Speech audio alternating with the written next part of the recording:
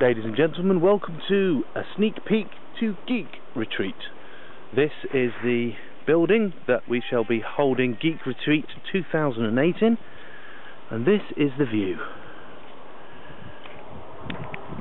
At the moment, lots of sun. You can hear the road, and in the distance there is the sea, and in the very distance over there, invisible to the low resolution video I lots of boats bobbing around. So yes, uh, Geek Retreat 2008 will be in Wales, the first Geek Retreat.